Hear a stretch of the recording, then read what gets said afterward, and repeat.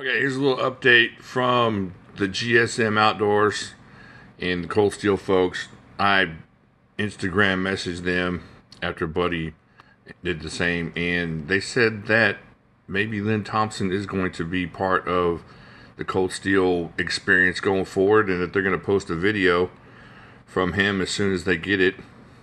So there's a little bit of hope.